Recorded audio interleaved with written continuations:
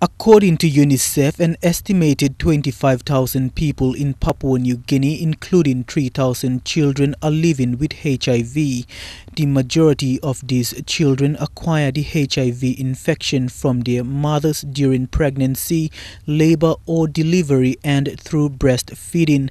These figures could rise if efforts to combat the spread of the virus are not supported. The Cosmopolitan Management has realized the importance for an AIDS-free generation and is supporting the Friends That Care group to promote their work on HIV and AIDS awareness.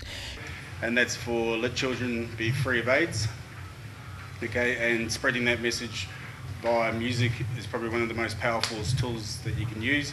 In conjunction with various artists, they will be staging a concert this Saturday at the Cosmopolitan Club, where five kina from all ticket sales will go towards FTC.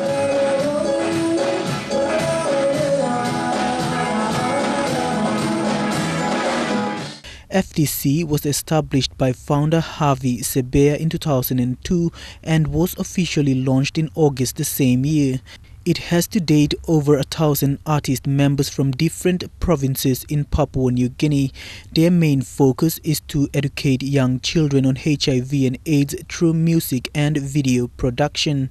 That care or FTC mission statement is am I doing something or are you doing something or are we doing something in our lives today. This is the first ever concert staged to support their work and FTC is grateful to Cosmopolitan and the artist for taking ownership in raising awareness as well. Mickey Cavera, National, EMTV News.